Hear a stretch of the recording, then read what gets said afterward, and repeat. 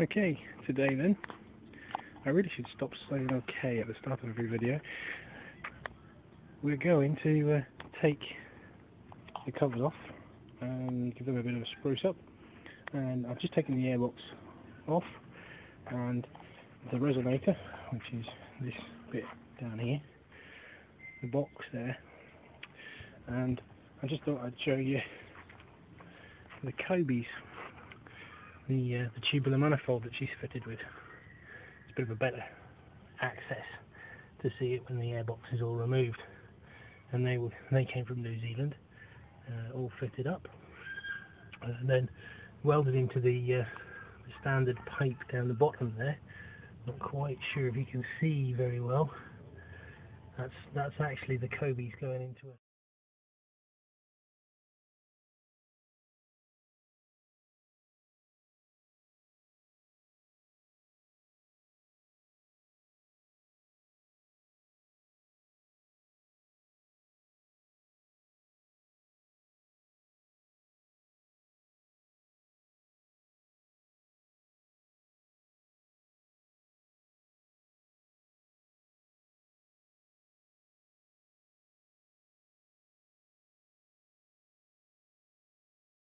A single pipe at the bottom and then beyond that pipe um, it was welded to the second half of a, of a normal uh, standard setup. So that's what we've got. These these covers are coming off going to be repainted.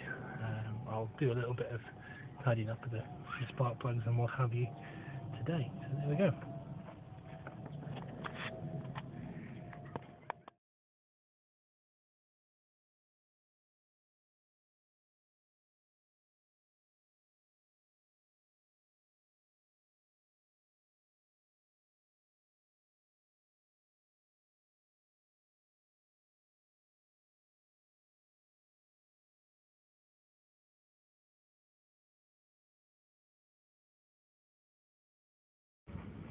Right then, so you can now clearly see all the bits taken apart and uh, they're all over here ready to be painted up. Uh, cam covers off and the two covers there. Um, I'm also going to do the bolts which are over there, in the big pile and the centre section. So hopefully it'll look a little bit better um, just while we've got the thing taken apart you can see the HKS cam belt uh, which has also got HKS tensioners and the split fire coil packs of which there are six being a six cylinder engine. Um, definitely worthwhile getting those those split fires uh, the OEM coil packs do degrade over time and these things are 13 14 years old as a minimum some of them so yeah, definitely worthwhile up, upgrade or or returning to uh, to original as new performance. So.